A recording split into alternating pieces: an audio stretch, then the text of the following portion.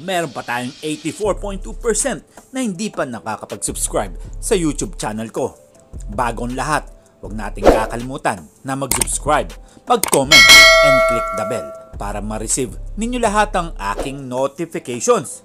Mikey Williams na nagbabalik na naman tayo mga pare koy. Ito nga pag-uusapan natin na si Williams nga eh napapabalitang matitrade na naman. Well, ang dami ng rumor na nangyayaring ganito mga pare koy. Ano nga ba talaga balak ng TNT katropa dito sa player na ito? Well, ang sabi niya nga noon eh magbabago na nga daw siya.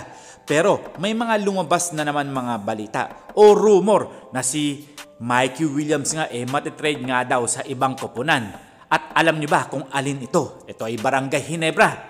Dahil nga gusto nga daw kunin ng TNT katropa itong si Onwuberry. Pati na rin ang dalawang player ng Barangay Hinebra na si Stanley Pringle.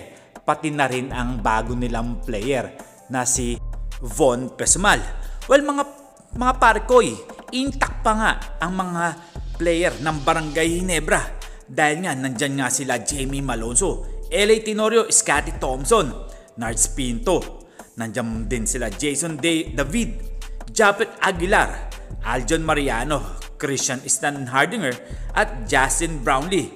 Mga parkoy, kung mawawala ang tatlong mga player na to, eh sino naman talaga ang makukuha ng Barangay Hinebra na bagong player. Siyempre, pinag-uusapan natin dyan ay si Mikey Williams at ano naman kaya ang maitutulong ni Williams sa Barangay Hinebra dahil nga malaking issue nga ang nangyari dati noong kay Bobby Ray Parks Jr. Posibilidad kaya makuha ng Barangay Hinebra etong si Mikey Williams at makapaglaro sa Barangay Hinebra. Tatlo ang kapalit na sila Von Pesumal at nandyan na rin si Stanley Pringle pati na rin si Onwuberry. Well, si Onwuberry nga eh medyo malakas din to. Alam naman natin na si Sidney Onwuberry eh talagang malaki rin maitutulong sa Barangay Hinebra. Kayo mga parkoy, ano ang inyong masasabi dito? At ano ang inyong magiging opinion dito? Abangan natin yan.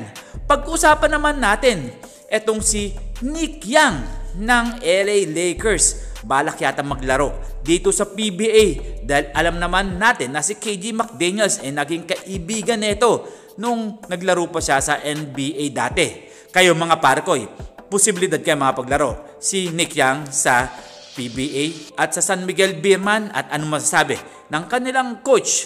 Well, hanggang dito na lang tayo. This is Ton The Boy Vlogs. I'm out. God bless you all.